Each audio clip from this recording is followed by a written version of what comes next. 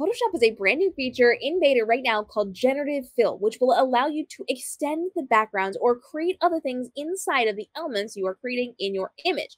Right now, it is in beta. Not everybody has access to this yet, and it cannot be used for commercial use while in beta. We are going to go over some of the terms of service in an upcoming episode, so follow along for that so you can know how to use it and how to access this if you want to try this out. But this is how you can be using the tool and different ways you can be using it inside of your creation as you're figuring out how this can be implemented into your business or your art creation. So inside of the beta version of Photoshop, you cannot find this in normal Photoshop. This has to be inside of the beta. You are going to be able to drag in your image, whatever image you want to be using. Then you have to select part of your background. You can either extend your background or you can just select it. I am going to go ahead and grab my crop tool and I am just going to pull this out. So I'm taking a vertical photo and I'm making it more of a horizontal image. So I'm going to go ahead and I'm going to allow that to remain how it is. Anywhere I want to change, I am now going to grab my square tool and I am just going to highlight that area. If I want to do more than one area, I hold the shift button down and I can select a secondary location on this as well. Now the toolbar down on the bottom will say generative fill. There are a couple of different ways that we can do this. We're going to take a look at how you can be doing this in different ways. Now, if you do not type anything here, it will analyze your image and it will then extend the image to wherever the selection is going to be. I am just going to go ahead and click on generate and it is going to process. This usually takes a few seconds. It's not very slow at all. It is very quick to get through this. It's going to give you several options that you can then look through. So as you are doing this, you're going to have several options you can click through. And then if you are a skilled Photoshop person, you will be able to go in and tweak anything that you don't like. So you can see there's some weird random things. If you look up at the top, there's like a weird random wire here. There's kind of some weird trees going on here. So if this were the image I was going to keep, I would have to do a little bit of photoshopping. You can even see there's some great things going down at the bottom corner of this or the bottom center that does not function the way that I want that I would have to retouch. Now, if I don't like this variation, I'm going to look to the right side of my screen where you can see variations, and it usually gives you three options, but I have seen over six options on some of these that we'll take a look at. And so I'm going to then tweak to the next one or move over to the next one. You can kind of see the difference between those, how it created more of that. You can see how it even changed that blue car from one way to another.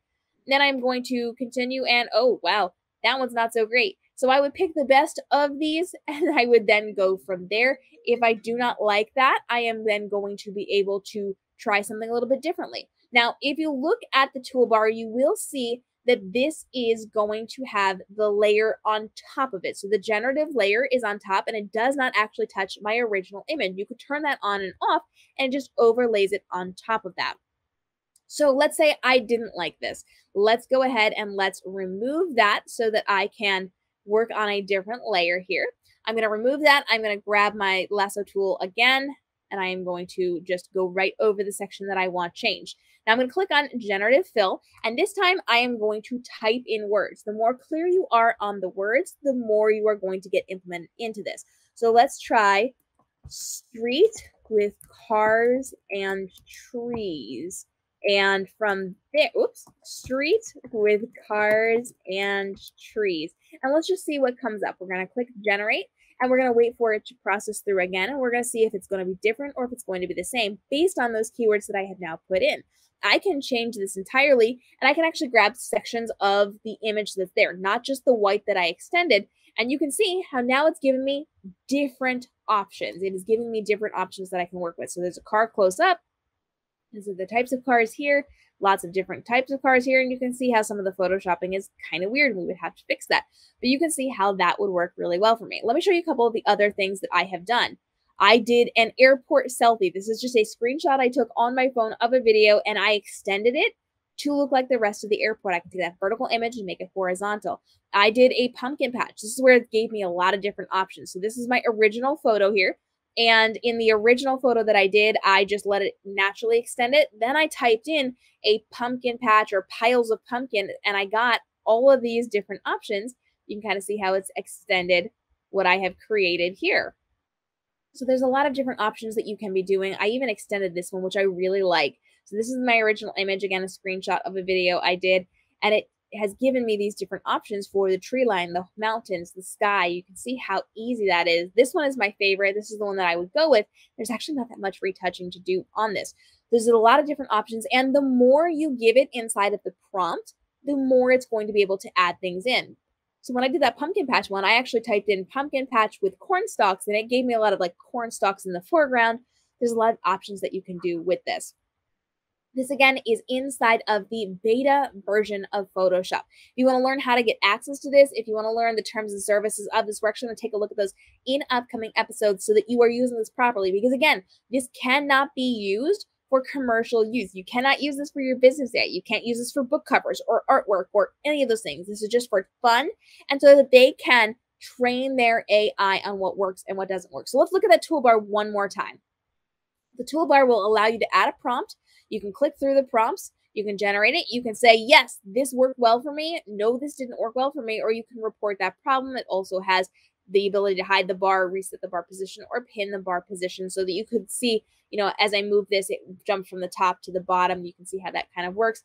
And you're going to be able to then, on the variations of each of those images, click on the three little dots and you can say delete, good result, poor result, or report result that something didn't go well. This is going to train the AI. So when it comes out in the main Photoshop, you have the ability to use it right now inside of what you're doing, the way that you are trying to grow and expand your content creation to make this even easier for you. This is gonna be really great for photographers who took a vertical photo who need to extend it horizontal or who didn't want to crop it in quite the way that they did with their horizontal video to make it vertical. You can actually enhance some of these things. You can change the skylines, the backgrounds, all these things and all of this we know is drawing from Adobe stock imagery. So right now it's being trained on what works and what doesn't work, but they're pulling from Adobe stock.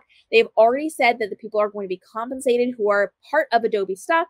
So this is all on the up and up. It is not pulling general information from the internet. It is not going to be stealing from anybody. They are doing this in a way that's protecting artists and creators. We have other videos about that, and we're going to continue to have this conversation as we talk about the terms and services of the beta version right now, how you can gain access to this, and more things that you can be doing with generative AI so that you can learn how to use it right now. So when it comes out to the public, you can immediately leverage it in your business to save you a ton of time and effort no matter what you are creating. Follow along. We're going to break down more tutorials on how you can be thriving with AI inside of the Adobe space. There's lots of things we can be beta testing right now, and we're going to show you a whole bunch of them here on the channel.